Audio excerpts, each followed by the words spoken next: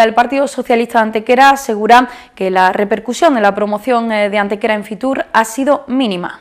También la portavoz socialista considera que ello se ha debido a la ineficacia del equipo de gobierno a la hora de promocionar últimamente la ciudad, y es que, según ha asegurado, los productos gastronómicos son fundamentales en una promoción turística moderna. Torres ha exigido al alcalde Manuel Barón y a la concejal de turismo Belén Jiménez que den explicaciones de las empresas turísticas con las que han mantenido contactos y cuáles son los resultados y qué contactos se han facilitado a empresas antequeranas. Según la portavoz socialista, el único impulso que ha tenido el turismo antequerano en el último año y medio es el de la Junta de Andalucía a través del programa Tu Historia y la red de ciudades medias, de las que recuerda que el PP renegaba. Así como ha apuntado, Barón aseguraba en mayo de 2010 que esta entidad significaba despersonalizar una parte muy importante de la riqueza monumental de Antequera a favor de un organismo que sería gestionado desde fuera, perdiendo así la titularidad del uso y las posibilidades que se pudieran realizar para incrementar el potencial turístico de la ciudad.